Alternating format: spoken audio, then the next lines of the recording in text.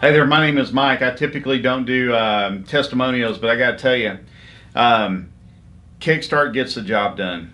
They stick by their work, and, and Rob and Kickstart are the only choice for quality locations.